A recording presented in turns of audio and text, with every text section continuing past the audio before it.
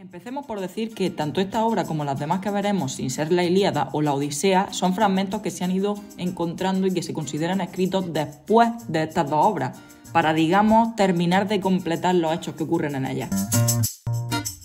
Hay muchísima especulación en cuanto a la autoría de esta obra, ya que es poco probable que Homero fuera su autor debido a varias contradicciones dentro de esta obra en contraste con las que él dejó.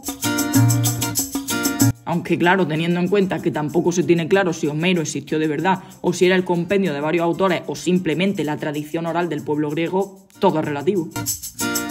Como os comentaba, vamos a empezar por los cantos ciprios. ¿Por qué intuimos que no pueden haber sido escritos por Homero? Porque hay información que se contradice. El dato más extendido al respecto es el pasaje en el que se explica cómo Helena y París llegaron desde Esparta hasta Troya, en la Ilíada dice que el viaje fue movidito, mientras que aquí nos cuenta que fue la mar de tranquilo y en apenas tres días. ¿Qué conservamos de esta obra? Fragmentos de otros autores en los que hablan de ella, en la constancia de que existió. Sin embargo, no se conserva nada de la obra en sí. Si tenemos en cuenta que tanto Ilíada como Odisea eran cantos tradicionales que habían pasado entre generaciones, no es raro que haya ocurrido eso.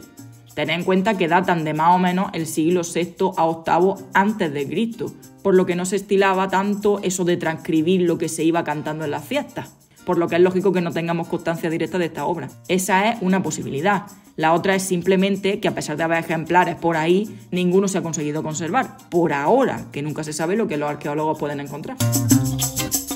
Lo que sí sabemos gracias a esos fragmentos es que estaba compuesta por 11 libros en hexámetros dactílicos.